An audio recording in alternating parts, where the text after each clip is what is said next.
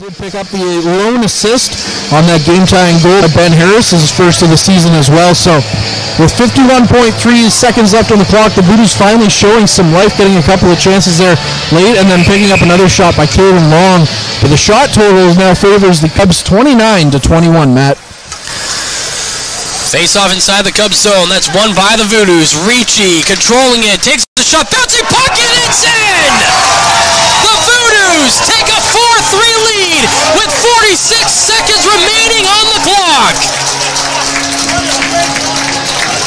Looks like Shields is going to get his second. He says, "You take away my game-winning goal. Not today. I'll get another one, maybe potentially."